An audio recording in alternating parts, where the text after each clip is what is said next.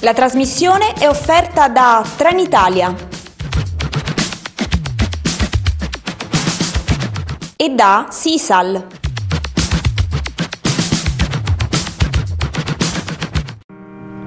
Prendido a tu botella vacía, esa que antes siempre tuvo gusto a nada, apretando los dedos, agarrándome, dándole mi vida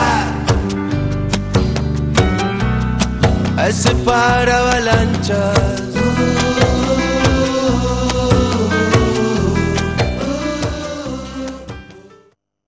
Buonasera a tutti ed eccomi qui per riportarvi nel mondo del calcio. Vi presento subito l'ospite di oggi, il giornalista Marco Filacchione.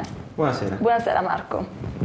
Ah, insieme a Marco oggi voglio ripercorrere la storia di un grande calciatore, un vero mito, Roberto Baggio, o meglio il Divincodino.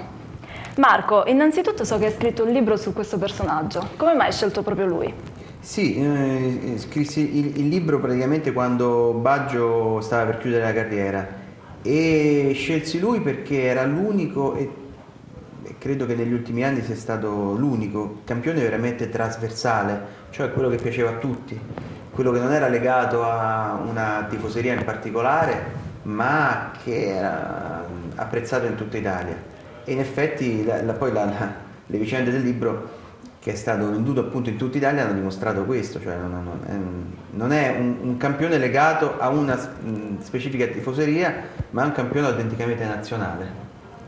Infatti è considerato tra i migliori giocatori della storia italiana, occupa la sedicesima posizione primo italiano nella classifica dei migliori calciatori del XX secolo. E secondo te qualche altro calciatore meriterebbe questa classifica?